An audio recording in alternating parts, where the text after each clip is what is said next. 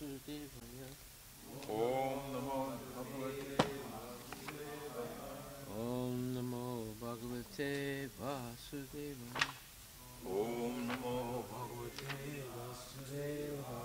जन्मदस्य यत वितरतश्च तेषु विद्यस्वरात् जन्माद्यस्य यतां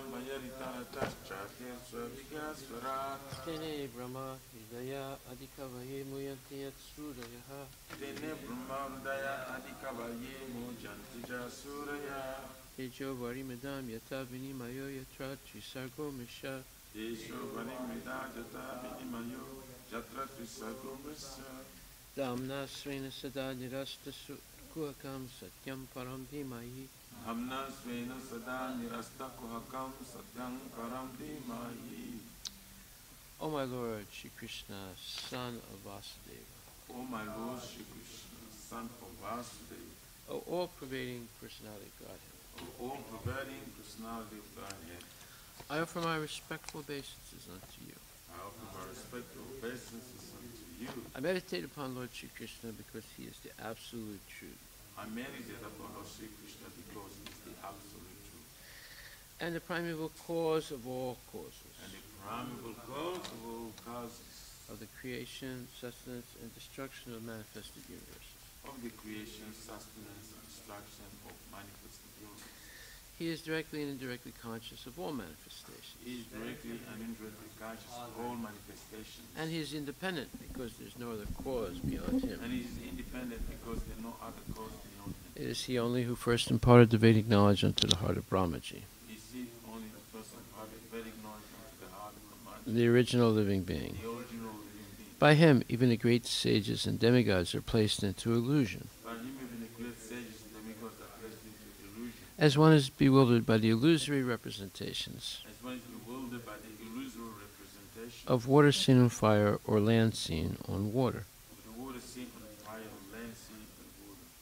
Only because of him do the material universes, Only because of him due the material universe, temporarily manifested by the reaction to the three modes of nature, temporarily manifested by the reaction of the three modes of nature, appear factual although they are unreal. appear factual although they are unreal. I therefore meditate upon him, Lord Shri Krishna, I therefore meditate upon him, Lord who is eternally existent in the transcendental abode, who is eternally existent in the transcendental, which is forever free from the illusory representations of the material world. which is forever free from the illusory representation of the material. I meditate upon him, for he is the absolute truth. I meditate upon him for he is the absolute. Dharma Projita Kaitravotra, Dharma Pujita Kaitavatra, Paramo Nirmatsanam Satam, Paramo Nirmashanam Satam, Vedyam Vastavam Atra Vastu, Vedam Vastavamasta Vastu, Shivadam Tapatrayon Mulanam, Shrimad Bhagavate Mahamuni Krite, Shma Bhagavate Mahamani, Kim Vapurir Ishwaraha,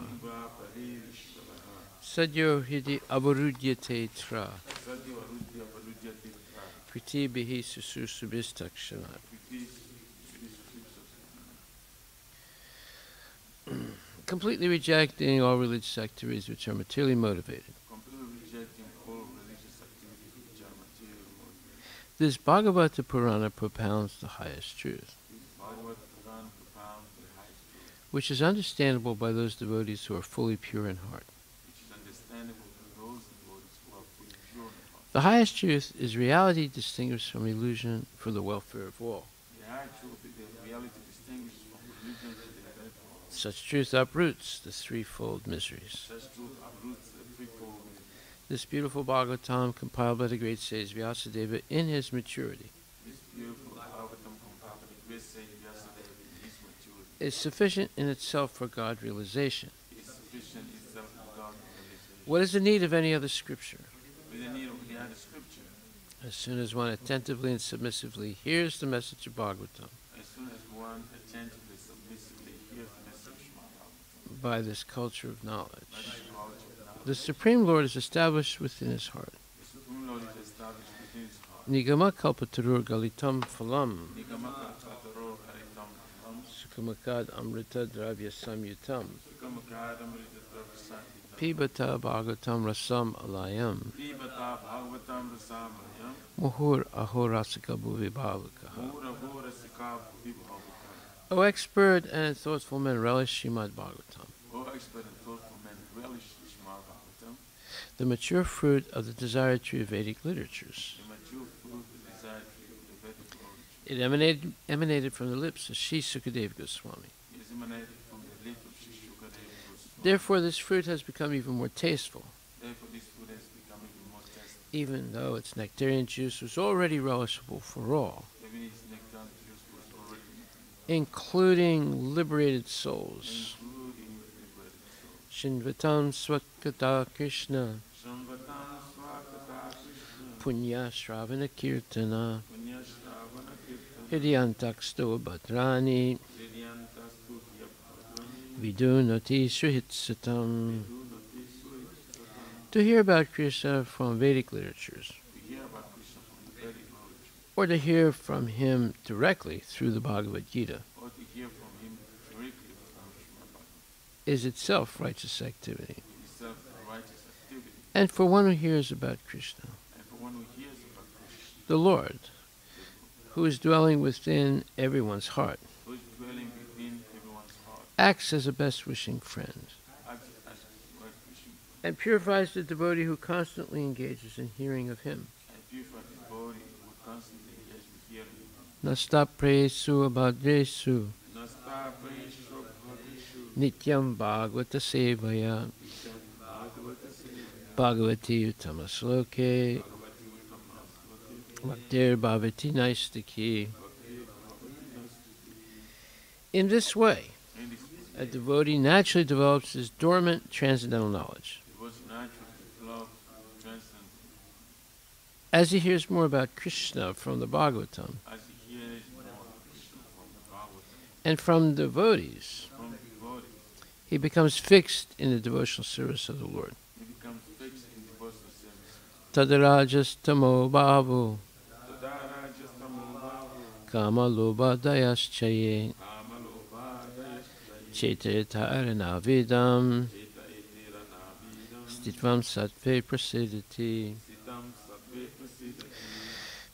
By development of devotional service,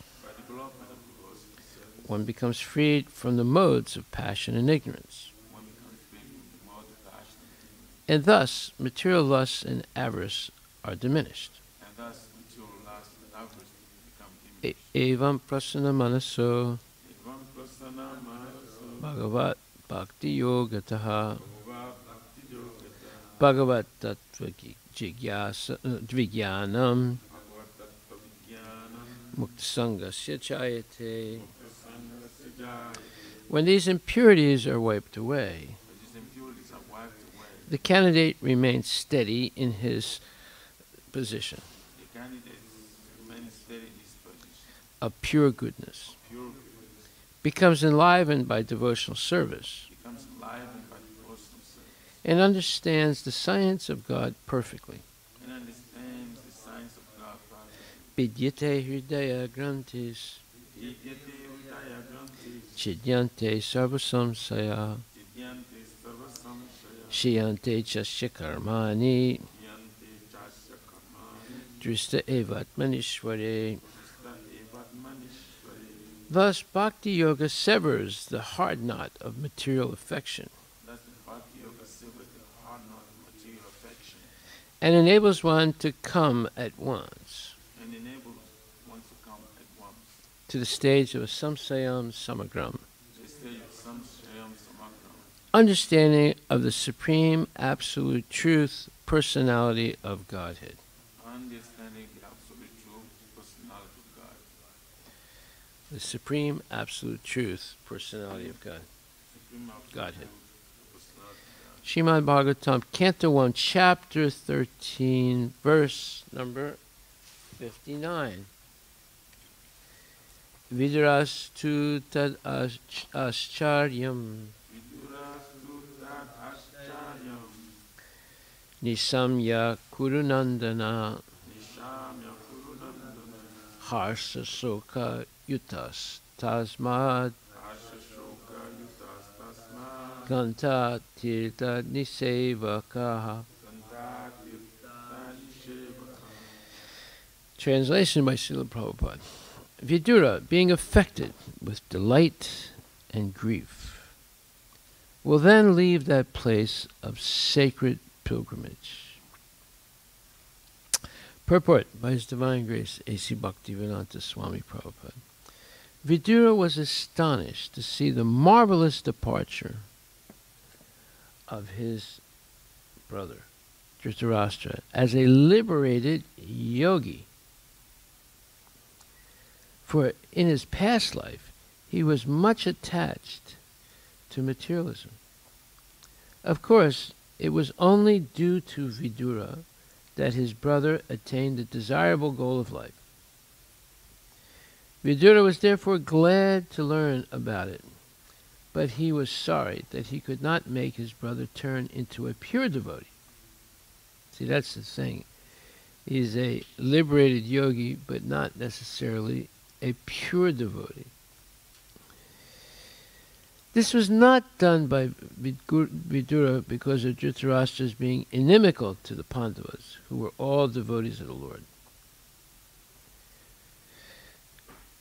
In other words, he didn't purposely make him a liberated yogi, but not a pure devotee.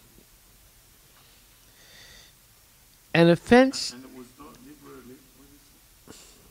What? That, that sentence again? Uh, it says by Vidura because of Dhritarashtra's being inimical to the Pandavas.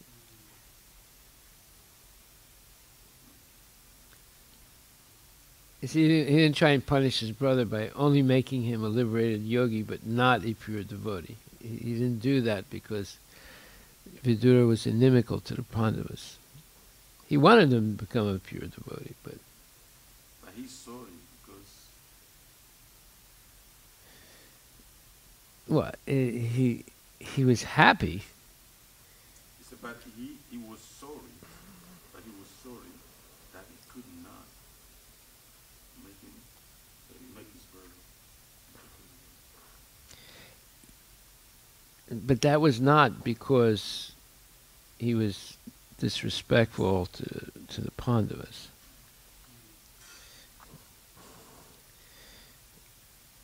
That was not done by Vidura because of Dhritarashtra's being inimical to the Pandavas, who were all devotees of the Lord. An offense at the feet of a Vaishnava is more dangerous than an offense at the lotus feet of the Lord. Vidura was certainly very liberal to bestow mercy upon brother Dhritarashtra, whose past life was very materialistic. But ultimately, the result of such mercy certainly depended on the will of the Supreme Lord in the present life. Therefore, Dhritarashtra attained liberation only. And after many such liberated states of life, one can attain to the stage of devotional service. Yeah, in other words, Bahunam Janmanamante. Vidura was certainly very mortified by the death of his brother and sister-in-law, and the only remedy to mitigate such lamentation was to go out to pilgrimage. Thus Maharaj Yudhisthira had no chance to call back Vidura, his surviving uncle. So we see there's a difference between a liberated yogi and a pure devotee. And second point is the absolutely devastating effect of uh, insulting or uh, being, uh, let's say, inappropriately uh, antagonistic to devotees. One can, Krishna can forgive a, a insult to himself, but he's not going to forgive an insult to his devotees. so therefore it says that an offense at the feet of a Vaishnava is more dangerous than an offense at the lotus feet of the Lord. so Vidura was certainly very liberal to bestow mercy upon his brother Dhritarashtra, whose past life was very materialistic. But ultimately, the result of such mercy certainly depends on the will of the Supreme Lord in the present life. Therefore, Dhritarashtra attained liberation only. And after many such liberated states of life, one can attain to the stage of devotional service. So we see how special devotional service is. Krishna will give liberation liberally, but he doesn't give devotional service so liberally. It's a special thing. It's only when Shrimati Radharani requests Krishna, oh Krishna, look, this devotee has come, he's very humble, he's bowing down to you, please be merciful unto him. So, therefore, in Vrindavan, everyone says Jaya Radhe because they know if Radharani asks Krishna to be kind to the devotee, then he will do it.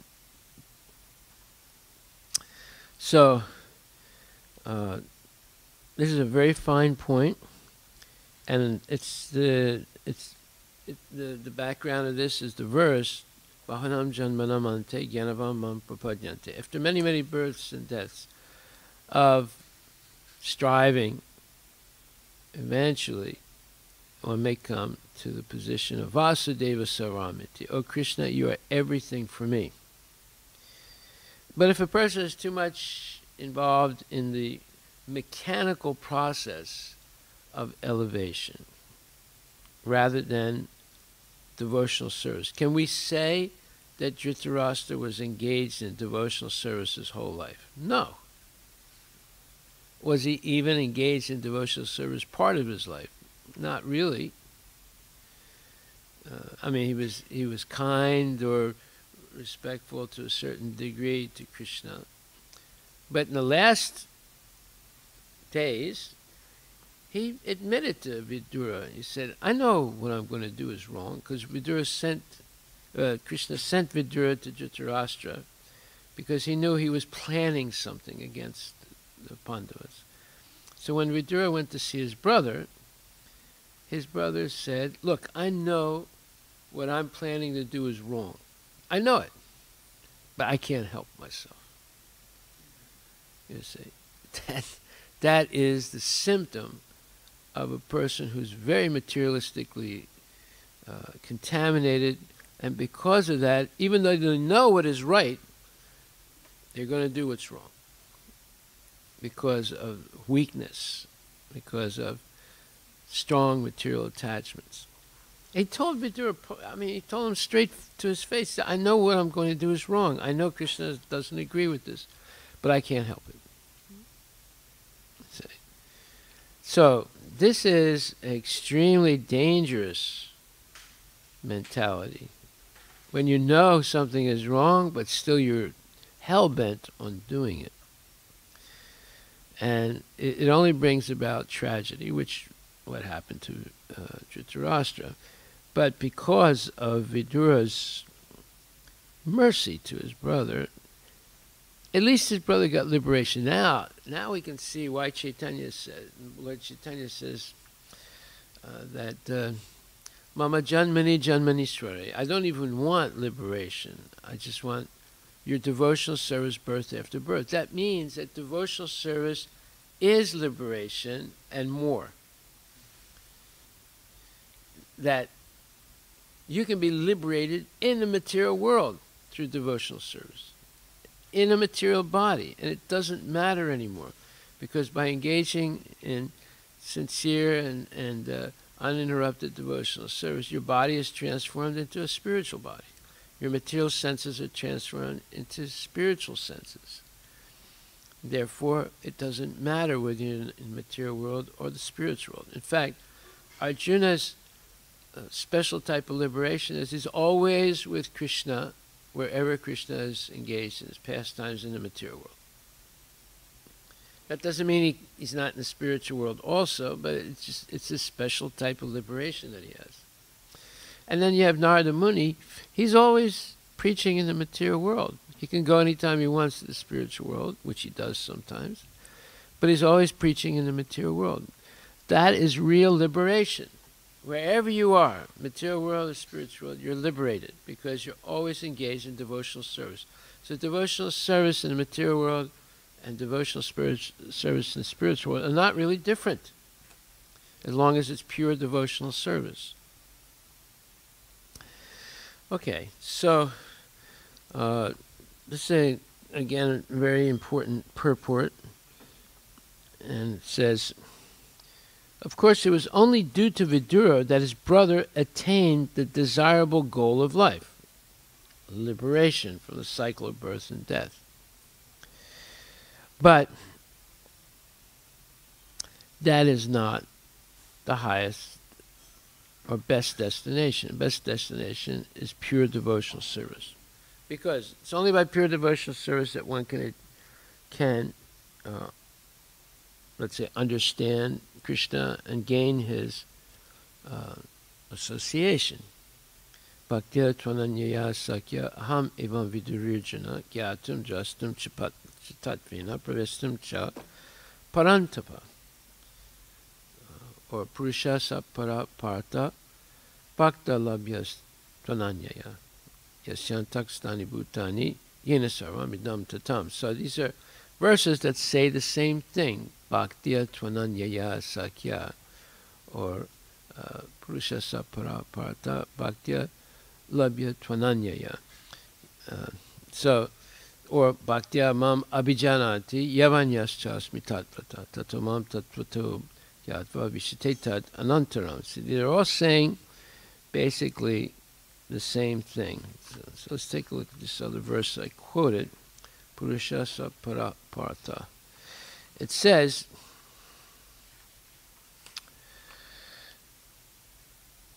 The Supreme Personality Godhead, who is greater than all, is attainable by unalloyed devotional service. Although he is present in his abode, he is all pervading and everything is situated within him.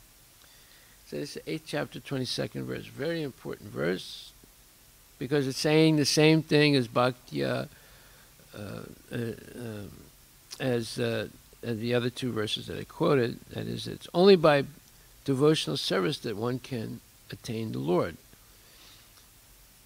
It's maybe by mystic, uh, by uh, uh, the type of yoga that uh, Dhritarashtra did, the mechanical process of elevation, one can attain liberation, but not necessarily uh, the intimate association with the Lord. So, Prabhupada says, it is here clearly stated that the supreme destination from which there is no return is the abode of Krishna, the Supreme Person. The Brahma Samhita describes this supreme abode as Ananda Chinmaya Rasa, a place where everything is full of spiritual bliss. All the variegatedness manifest there is of the quality of spiritual bliss. Nothing there is material. That variegatedness is expanded as the spiritual expansion of the Supreme Godhead Himself, for the manifestation there is totally of the spiritual energy, as explained in chapter 7. As far as the material world is concerned, although the Lord is always in His supreme abode, He is nonetheless all pervading by His material energy, so by His spiritual and material energies, He is present everywhere. Okay, anyway, we get the idea that liberation is not uh, what you would say the final destination. Final or the supreme destination is uh, intimate relationship with Krishna through devotional service and through the mercy of spiritual masters.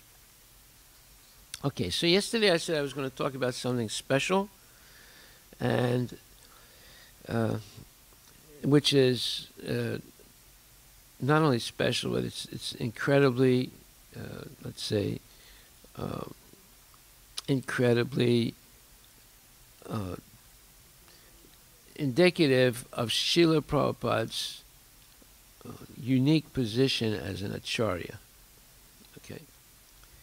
So, a, a guest at a program or a lecture by Prabhupada asked the question. He says, Brahma Sutra, or the Vedanta Sutra, is propounded by Vyasa, and it is one. It is only one. In other words, it's his, he's the author. Right?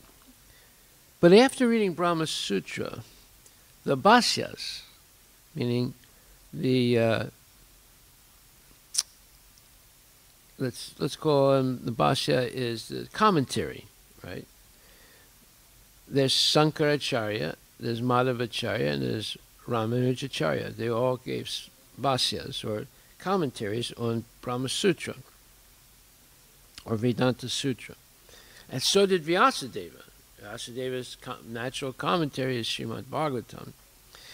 Why they wanted to give commentaries? Well, Sankaracharya gave a false commentary, and it became sort of like a standard that if you know if you can't you can't really have a standing in uh, uh, what's called hermeneutics or or commentaries unless you have a unique uh, uh let's say uh, interpretation so his unique inter interpretation is summarized by Brahma Satyam Jagat Mithya. That Brahman is real and the Jagat or the material world is false. So this man says, okay, so there's these three bhasyas, Sankara Bhasya, Madhava Bhasya, and, and Sri Bhasya. Uh, and all these things differ in many ways. Now, the, each one of the explanations or commentaries on the same book, Vedanta Sutra, written by Vyasadeva, are different. And he says, "Am I am I to follow this one, that one, or the other one? You know, which which which commentary should be accepted as as the true commentary?" He says, "Because Jagat is mithya. In other words, the material world is false. It's it's illusory." uh, and this is said by Sankaracharya.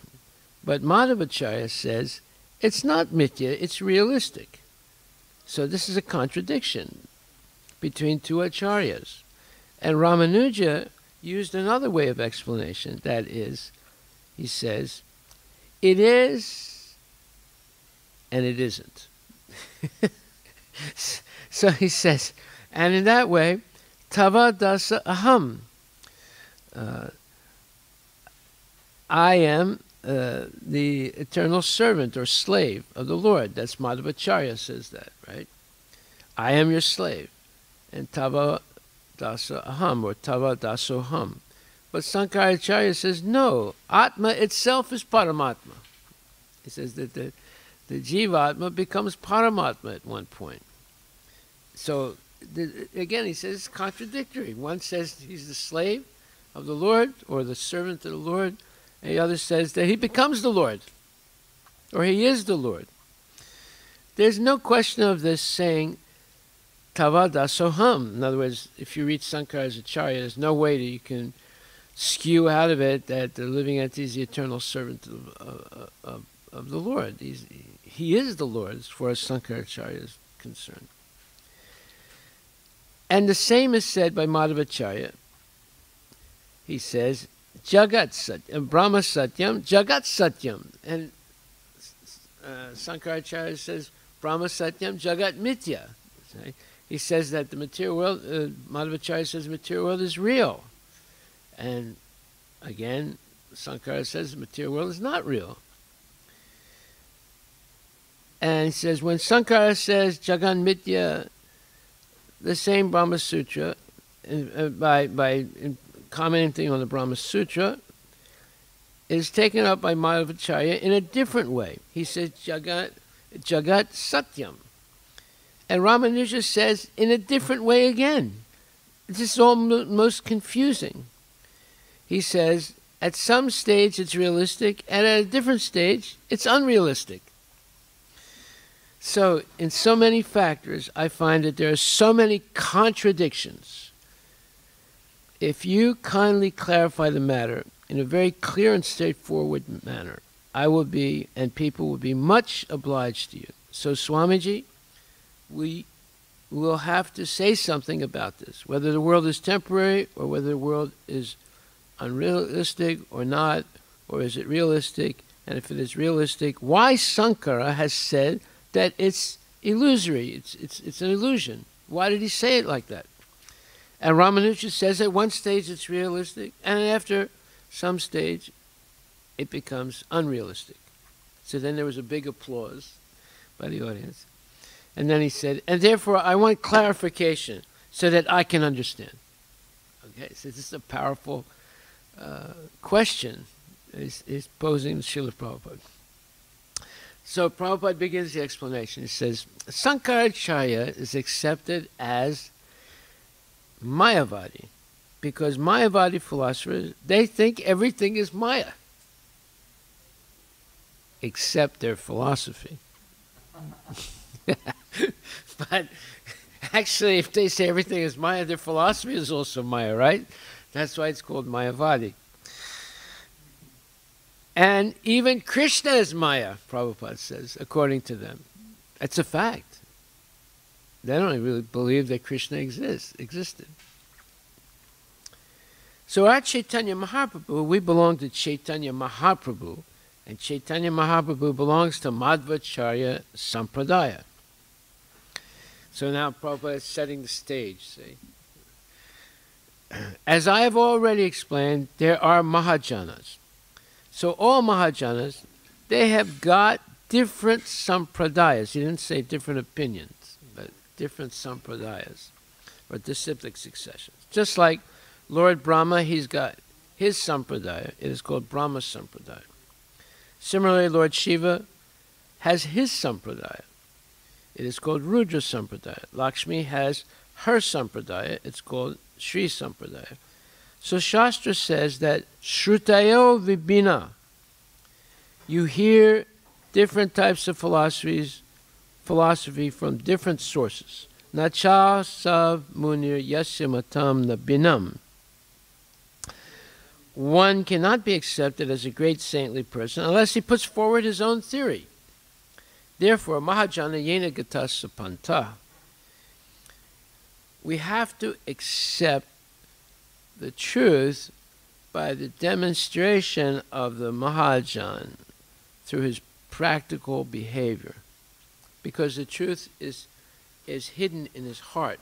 And you can only tell what the truth is by the behavior or by the, the path chalked out by the Mahajan. So he's quoting this verse, Tarko Patista Shrutaya Vibhina. There are, uh, you, you can't understand simply by speculation or argument. And because there are different branches of the Vedas.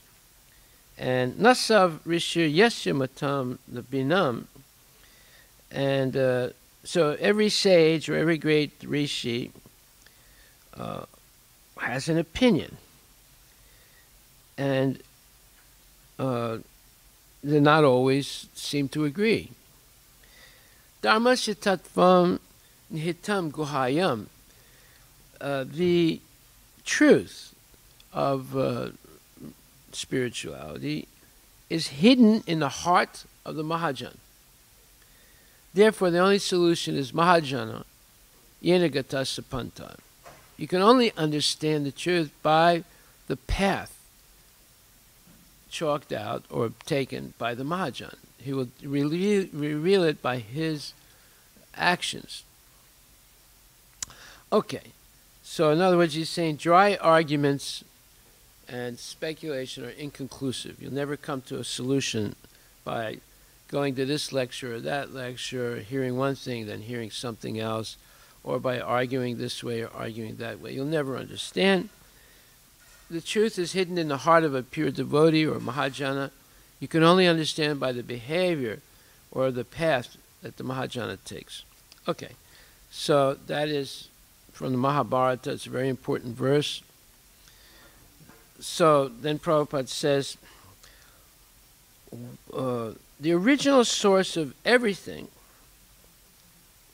uh, no, he says that, now, apart from accepting the Mahajana, we have to use our senses also. Of course, unless we are advanced in our sensual speculation, that is, you have to use your senses, but not for speculation based on sensuality, based on sense gratification.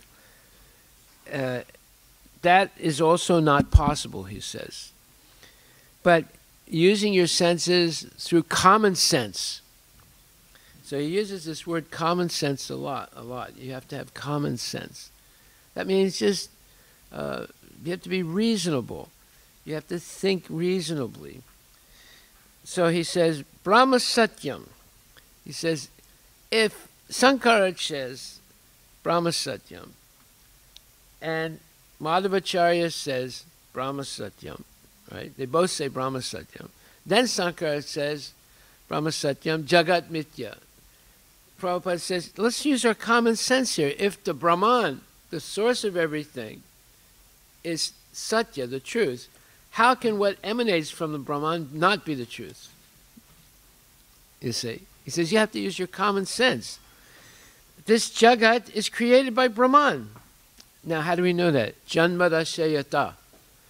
Brahma Sutra begins. It says, uh, Atato Brahma Jigyasa. Now let us inquire about what is the absolute truth. And then that's the, the introduction, right? And then the first sutra is Janmadashayata. The absolute truth is that from which everything emanates. Now, what is that from which everything emanates?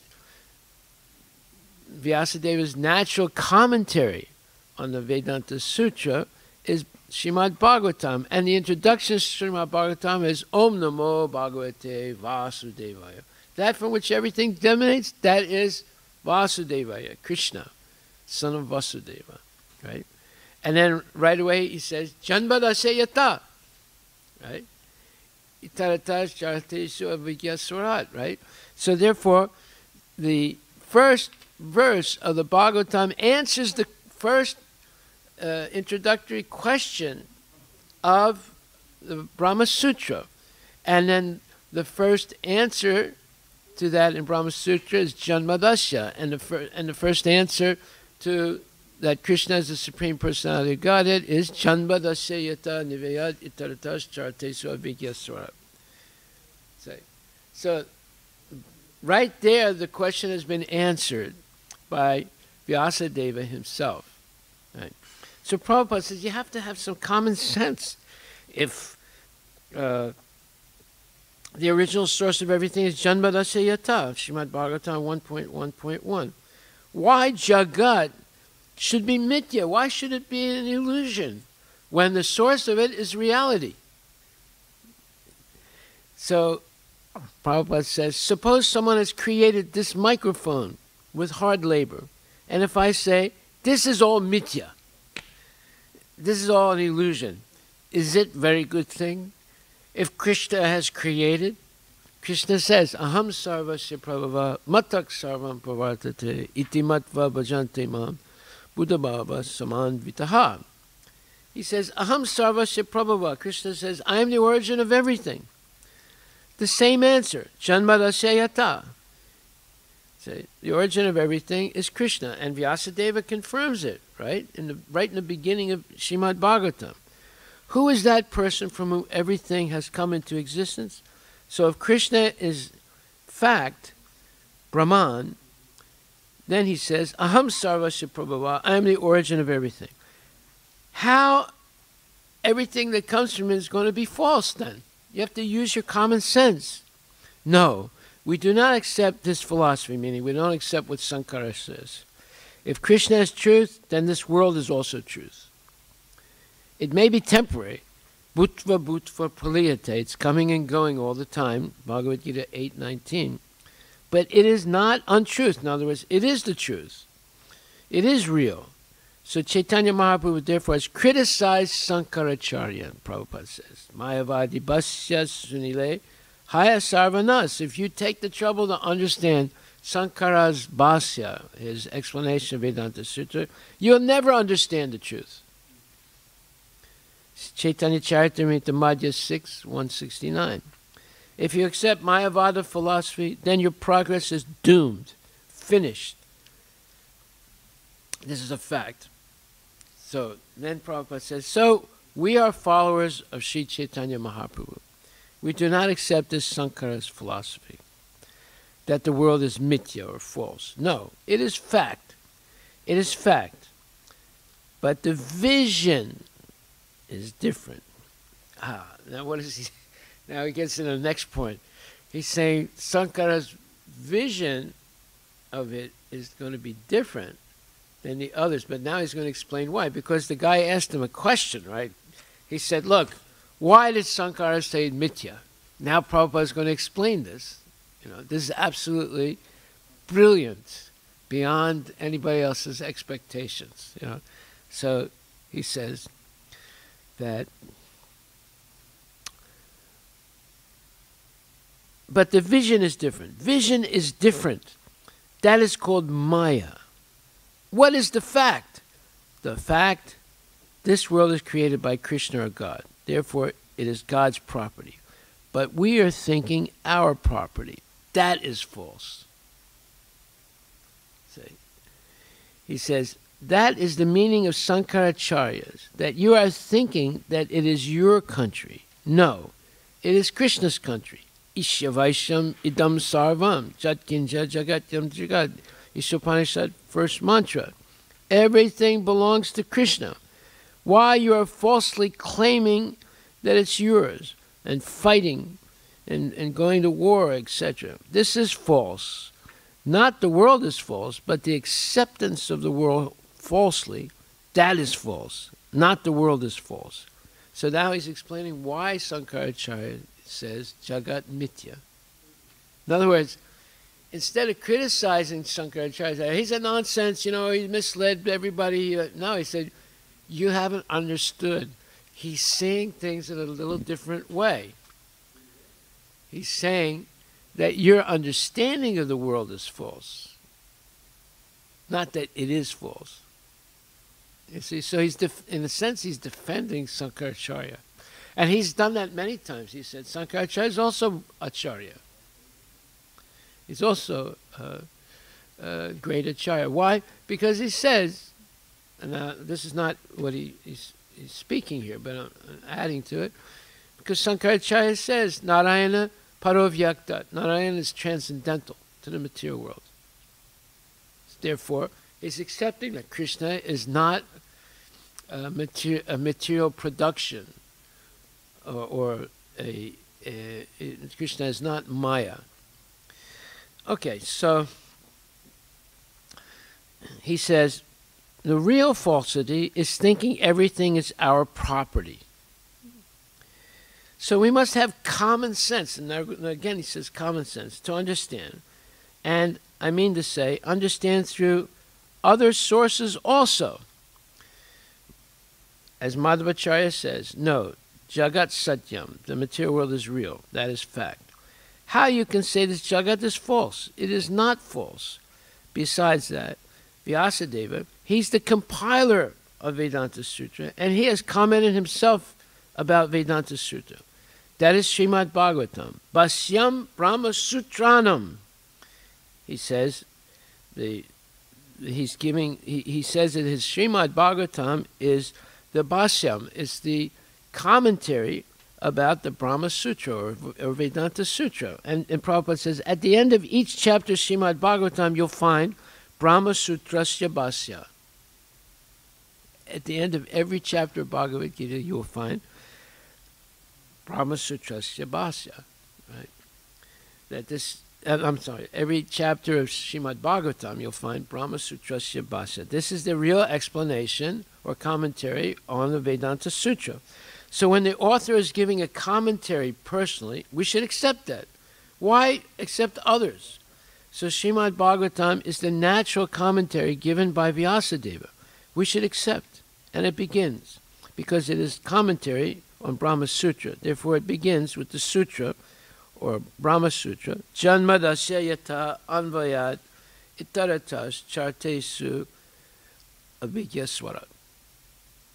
Right from the beginning of Srimad Bhagavatam, he's answering the original question of the Vedanta Sutra. Right? And what's the original question? Atato Brahma Jigyasa. What, uh, let, us, let us inquire into what is the absolute truth. and then the second, and then the first sutra is Janmadasayata. The absolute truth is that from which everything emanates. So now he picks that up right in the beginning.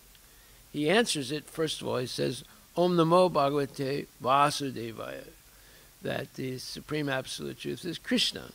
And then he says, Janmadasya Yata. So he's picking up right from the Brahma Sutra, from the Vedanta Sutra, because that's that's the that's the answer to uh, Atato Brahma Jigyasas, that from which everything emanates. Janmadasya Yata.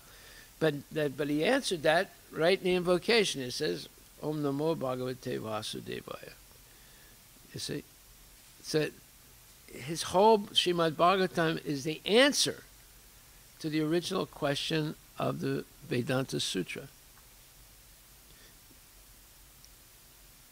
Now, Janmadya Janmadya Shayatam That's is the, is that the beginning of Bhagavatam, not Vedanta Sutra.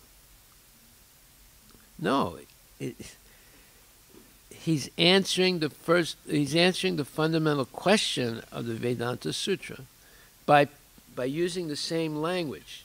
He's showing that, hey, when I just said the answer, it's, it's Krishna is the supreme personality Godhead, and th- he is Janmad Asyayata, that from which everything emanates. They use the word that from which everything emanates because that is the indefinite language used in the uh, Upanishads, right? The Upanishads don't name Krishna directly. They talk about the supreme, the absolute truth, blah, blah, blah. You see? It's only when you get to Vedanta Sutras getting much closer to what is the absolute truth, but still it's using a little bit, uh, you know, let's, let's say non uh, explicit language, like Janmadasayata, that from which everything emanates. But now he becomes definitely clear. He says that is Krishna, the Supreme so Person. They, they, they portray the absolute truth in impersonal way. Yeah. In, in, in yeah, everything, everything is impersonal up to the uh, Srimad Bhagavatam. And then Bhagavatam finally says it's Krishna, the Supreme Absolute Truth. Okay, because spiritual realization is progressive. It goes progressively. So now he says, uh, this is the explanation.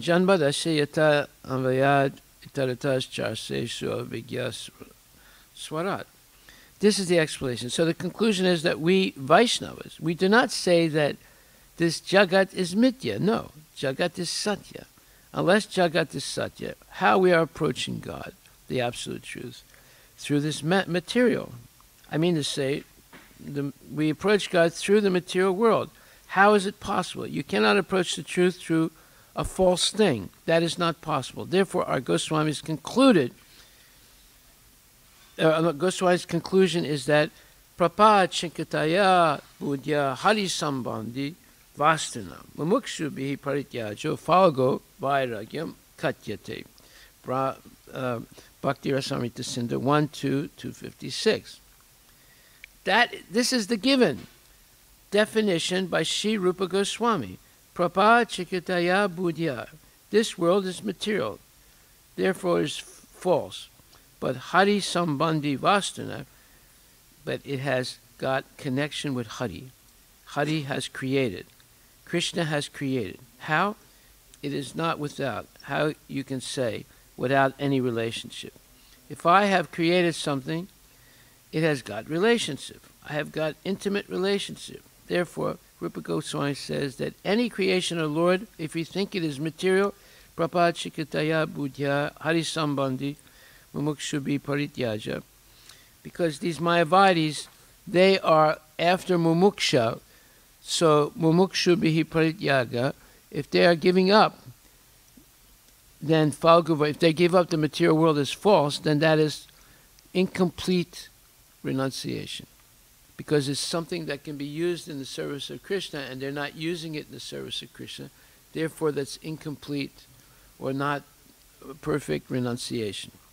It is called falgu vairagya, false renunciation. The world is not false, but the so-called renunciation is false.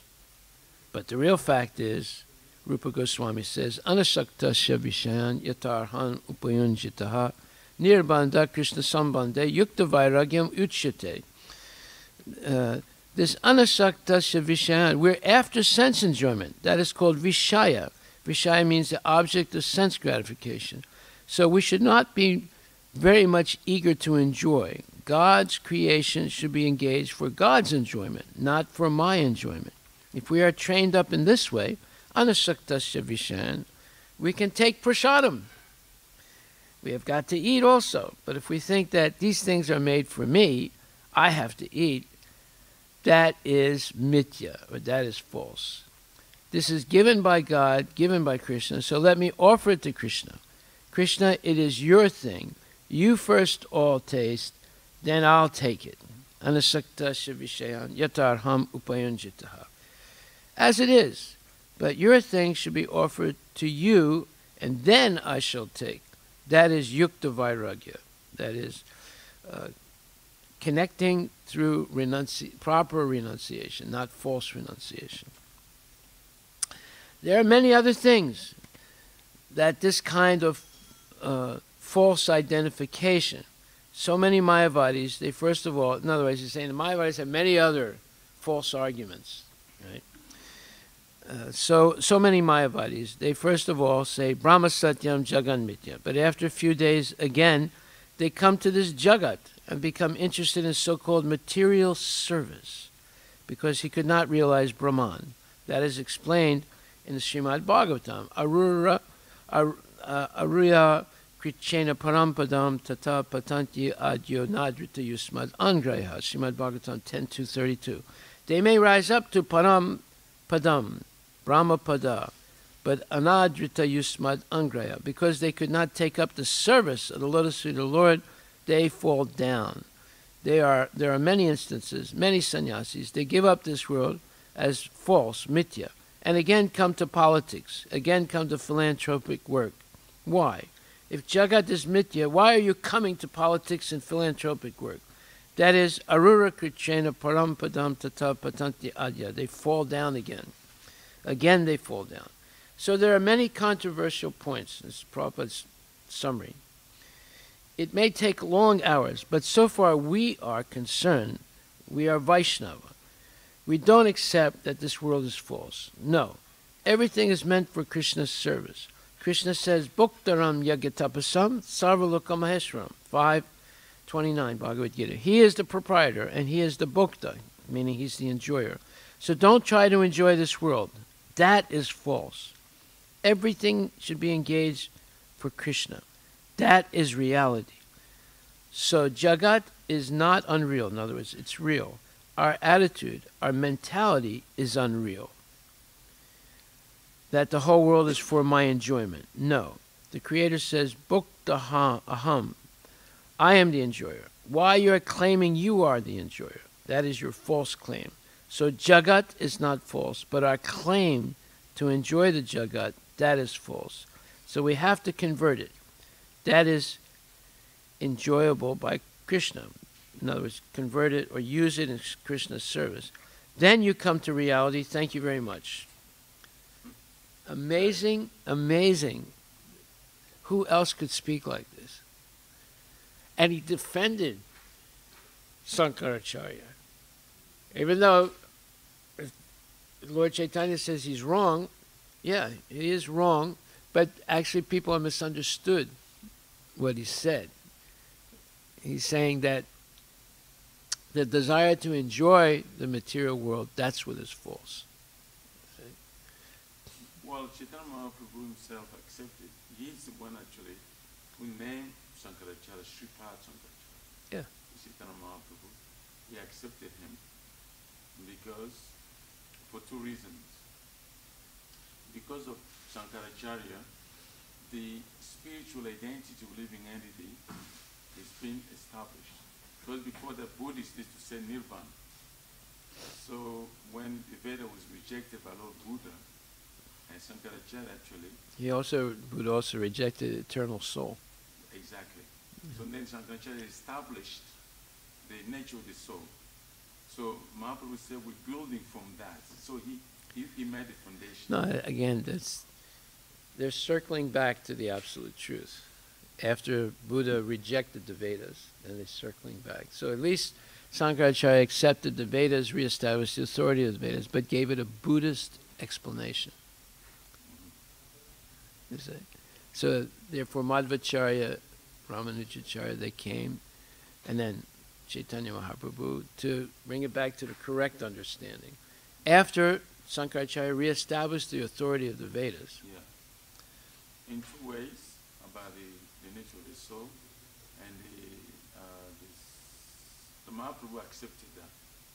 He said actually we uh, in one sense Mahaprabhu said we follow Sankaracharya, not in the in the sense of uh, of uh, Jagat Mithya, but in, in, in, the, in the platform of the soul. Because Sankaracharya did that job. Mahaprabhu said this, I think in Chaitanya Charitamrita. Uh, Okay, you find that and tell us tomorrow. uh, I, I think I heard that,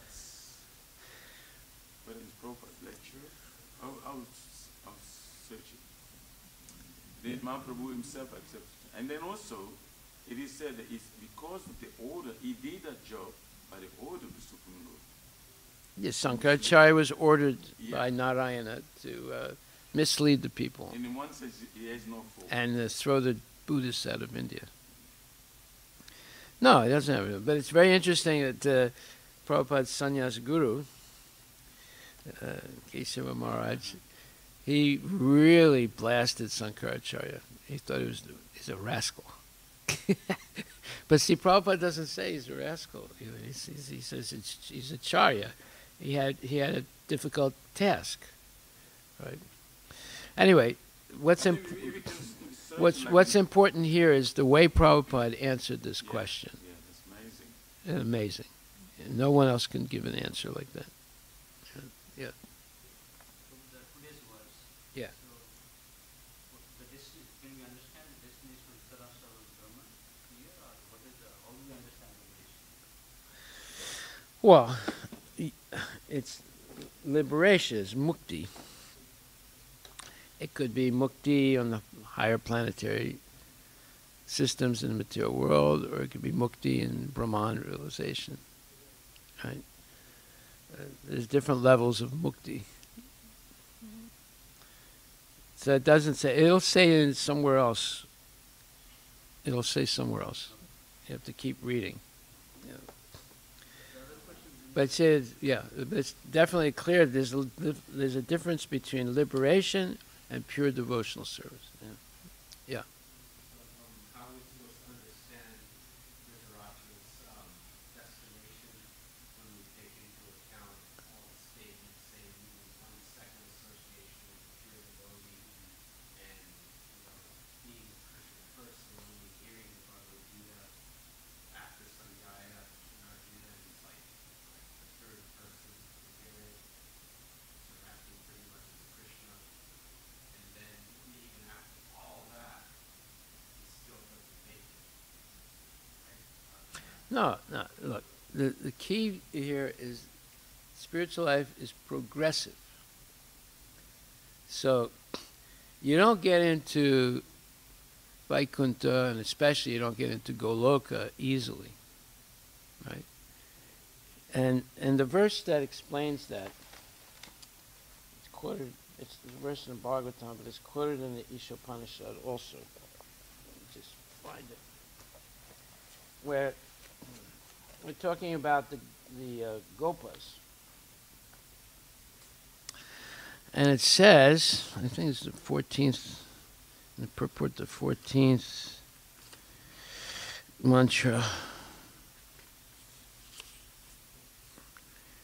It says that the Gopas attained their, their position of being able to uh, have their head on the Krishna's lap and dangling their feet in the air and, and playing uh, leapfrog with the Lord, all those things. After many, many births, and many, many lives of performing devotional service, they finally attained that, that very special position of the intimate relationship with the Lord. So it's not a normal thing. It's not like ABCD. It, it takes a long, long time of devotional service in different situations with the Lord to come to the point where you can become an intimate uh, associate of the Lord in the spiritual world. Itam satyam, uh, itam satam brahma sukhanu britya dasyam gatanam para daivatina mayashritanam naradara kena sakam vijaru krita punya punja. This is Srimad Bhagavatam, 10th canto, 12th verse, 11th, 12th chapter, 11th verse.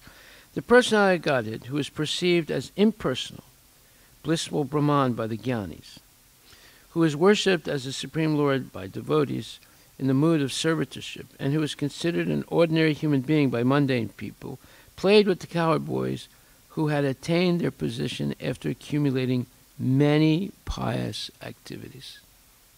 Many pious activities. So Dhritarashtra, yeah, he, he heard Bhagavad Gita, you're correct. And he personally saw Lord Krishna, correct?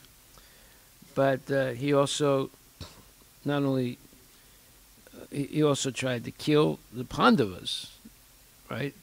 So therefore, he's not going to go back to Goloka, but he's but he attained liberation from the cycle of birth and death. Well, uh, isn't that what Prabhupada says? Let's let's look at it here. The exact wording is. But ultimately, the result of such mercy, meaning Vidura's mercy, certainly depended on the will of the Supreme Lord in the present life. Therefore, Dhritarashtra attained liberation only. And after many such liberated states of life, one can attain to the stage of devotional service. And after many, see, you notice that stage. And after many such liberated states of life, one can attain to the stage of devotional service. See? So, and here it says that uh, the cowherd boys had attained their position after accumulating many pious activities. So it's, it's, it's actually a long process.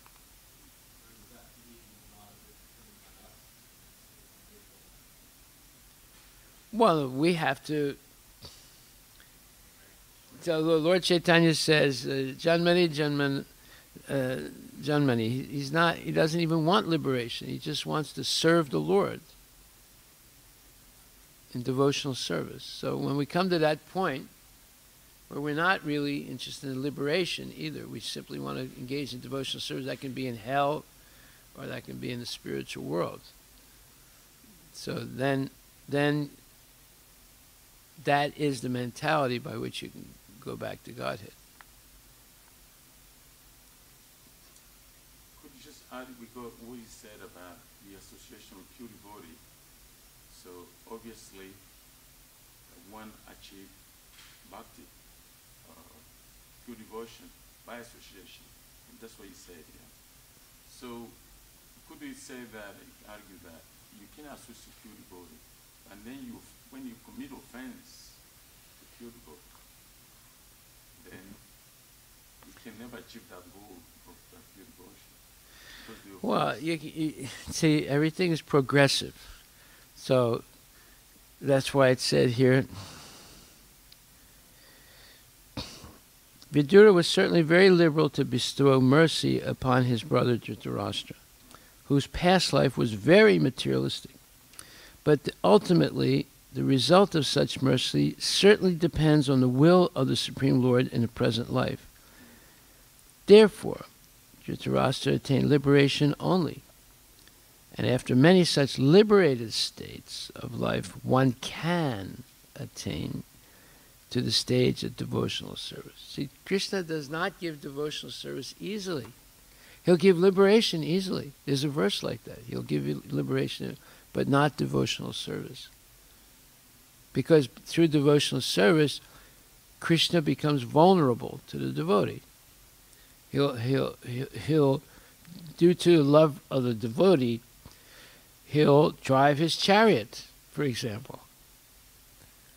Or many other examples are there where he subordinates himself to the devotee because of devotional service. Therefore, he's not going to give devotional service easily. Okay. Yeah. Dhritarashtra had many opportunities to associate with the Lord Lakshmi. Yes. So with, with, with even that uh, desire for the devotion is being what we the question is is like meaning, how we can understand it and inspire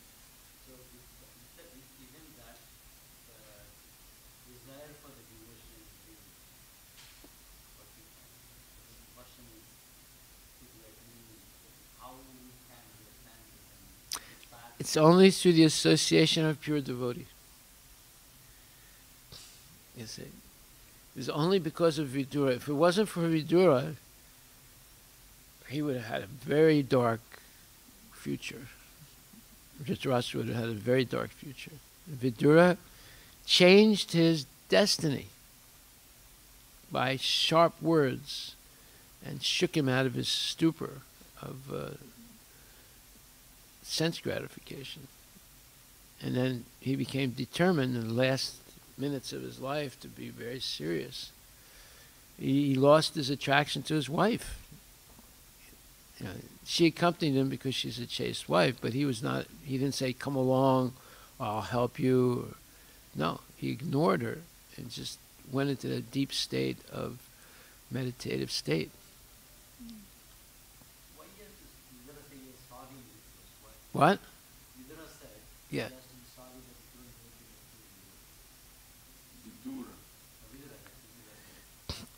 Well, let's see what he says. Uh,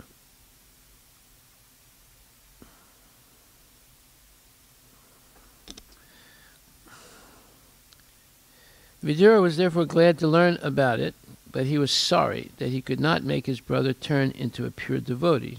Well, yeah. Wouldn't you be sorry if you can't turn your children into pure devotees?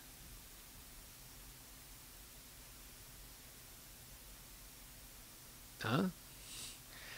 You can give them Krishna consciousness, but you might not be able to turn them into pure devotees.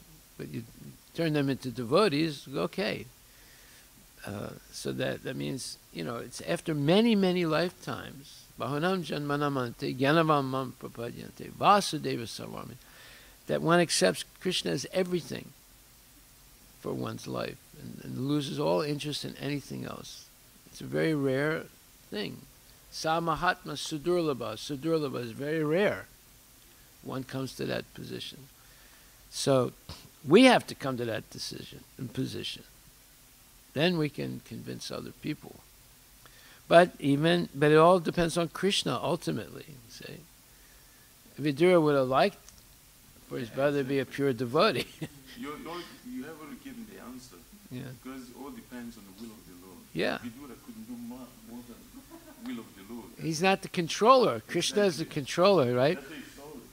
And Krishna obviously is not going to let let it go that he insulted the Pandavas and tried to kill them.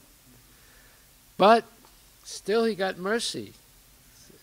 But to get the full mercy, you know, this, it's a very high bar, right? Haribol. So then there's, um, there's no contradiction amongst the Vaishnava acharyas regarding whether or not it's Sutta, right? No, ultimately. So th- that's what Prabhupada says here uh, about vision. He says you have to have common sense and understand through other sources also. So then he says, Madhavacharya says, Jagat Satyam. That's a fact. How, how can you say that Jagat is false? It's not false. And then he talks about Vyasadeva. But before that, he mentioned that, you know, uh, even Sankaracharya, he said, we don't accept the Sankara's philosophy that the world is false. No, it's a fact. But the vision is different. Vision is different. That is called Maya. What is the fact? the fact is this world is created by Krishna or God, therefore it is God's property. But we are thinking our property. That is false. That is the meaning of Sankaracharya's, that you are thinking that it is your country. No, it is Krishna's country. So, you know, in the end, Sankaracharya says uh, that Bhaja Govinda, right? So he had to give a Buddhist interpretation of the Vedas to convince some Buddhists to become uh, followers of the Vedas, and the ones that didn't, basically kick him out of India. Yes, it's all to come back to the original understanding. Om Namo Bhagavate Vasudevaya. Yeah. So that it, you know they circled back slowly through these different bhasyas, coming to finally Lord Chaitanya Mahaprabhu. It's one amazing thing that Prabhupada said there is that the way he explained Jagat Mithya, that's a fantastic. What did he say? What did he say? Um, it's a fantastic the way he he interpret, Prabhupada interpret the Jagat Mithya. That is a vision, is a consciousness. Of Yeah. What what is what is the mithya? Mithya is thinking this world belongs to me. But that's what I'm saying. The way Yeah. Prabhupada said that, that's Yeah. exactly that's what I'm saying. It's amazing. Yeah. So he said therefore, No, the, because the doctrine of illusion between the Mayavadis and Vaishnavas is different. Mayavadis say the whole world is false. The uh, the uh, Vaishnavas say wanting to enjoy the material world is false. The material world is not false. It can be used in the service of Krishna. But but they want to understand is like they might, they might the followers of Sankara, Sankaracharya, they didn't understand that also themselves. That's why he said About Bhaja Govinda. Yeah. So Jagat Mithya means the consciousness of enjoying. Yes. So they don't, they don't, they didn't understand him. You see, Yeah. they didn't understand him, and they think, they, they, they think to be his followers, but they didn't understand. Well, everything needs to be explained by the acharya. You see. But in on face value, saying that Brahma Satyam Jagat Mithya, that's that's wrong. But the, to explain that Mithya is when we falsely claim the material world as meant for our enjoyment. That is the real That's Maya, false. yeah. Yeah, that's Maya. Yeah, exactly. So Sankaracharya was right because when he said, Ja- uh, what's it called, Brahma Satya, means Yeah, Brahman is truth and the Jagat is false, but the false understanding of Jagat. So there you can see there's a sense that if you engage in devotional service Supreme Brahman, No, you, you have to question the Guru because, you know, common sense ca says that if the Jagat, uh, if the Brahman is truth, how can the Jagat be false? Because it emanates. But see, Sankaracharya said it doesn't really emanate, it's an illusion. So that's, that's the pivot right there. We don't say that uh, the material is false. We say that it's temporary, therefore it's not of the nature of sat, right? Eternal. So anything that is not, it doesn't appear eternal it, it, because it disappears at one point. So, therefore, you have to question the acharya because there's some doubt. Uh, You know, the common sense of, well, if Brahman is real, how can what emanates from Brahman be false? And then, but so Sankaracharya said, well, uh, it's actually an illusion. No, but what is the illusion? Say, you have to ask these questions. What is the illusion? Is it the, is it the matter itself is an illusion, or is it the thought that uh, I can use this matter for my sense gratification? Unless you ask these questions, you end up with a false understanding. Therefore, it says, Tat vidi pranipatena pariprasnena sevaya. So you have to ask questions to clarify things. Okay, so if at the end of the class there are no questions, That means either you understood or you didn't understand.